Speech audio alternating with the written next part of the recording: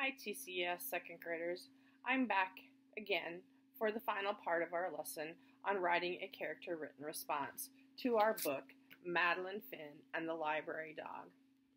In part 1, we we ha I had you go back and read the book by Miss Kristen and then we wrote our sentence about um, the name of the book that you read and also who the main character of the book was. In part 2, we worked on describing the character, um, talking about um, a physical trait of the character, and then um, inferring something about the character's feelings. In part three today, we are going to be writing uh, writing your opinion about the book and the character. And here are two responses that you can use to to tell us if about the character.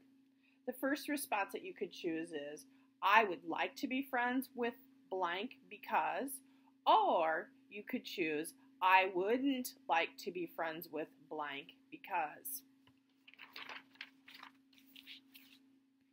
I really enjoyed the book Madeline Finn and the Library Dog, and I really liked Madeline a lot.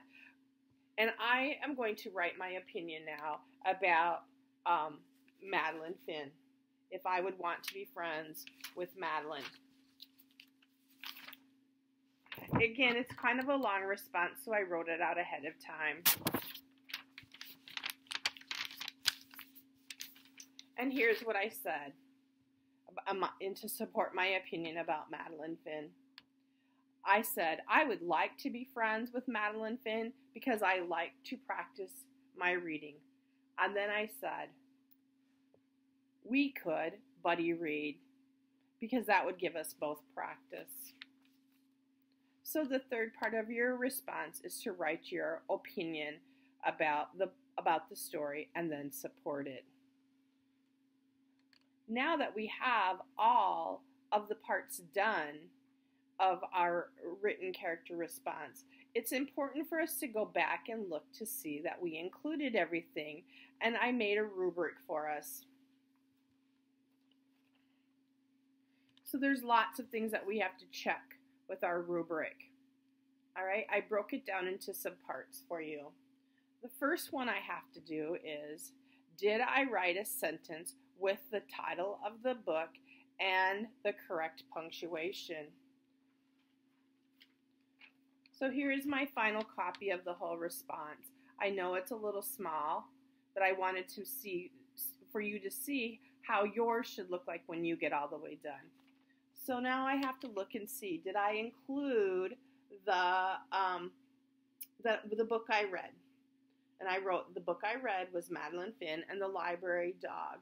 I remembered to put my period at the end of the sentence, and I remembered to underline the title of the book.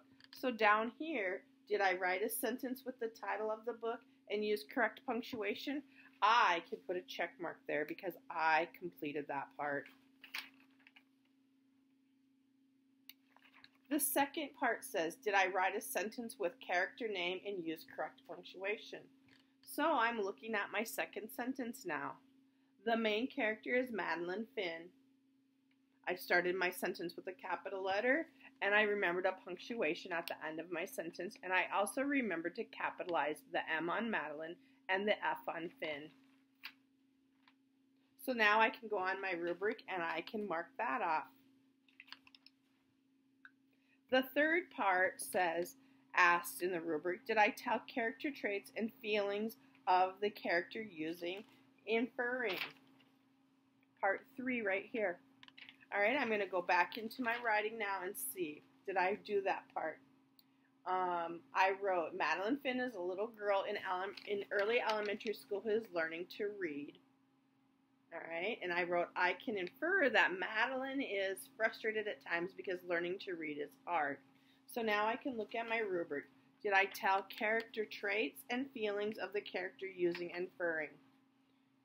I told about Madeline Finn that she was a little girl learning how to read, and I also inferred that she was frustrated because sometimes learning to read is hard, and I also inferred that she has perseverance um, and keeps practicing until she can earn a star. So I can mark that off on my rubric now. The fourth question says, did I write my opinion of the character and, su and support my opinion? I wrote, I would like to be friends with Madeline Finn because I like to practice my reading. We could buddy read. So now I can go to my rubric and also mark that off because I completed it. It's important that we check our writing to make sure that we have all of the things included.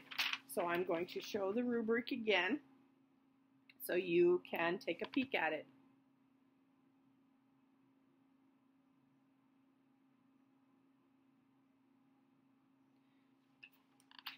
I hope you are, will find time to read books and write about the character. Happy reading and writing. See you soon.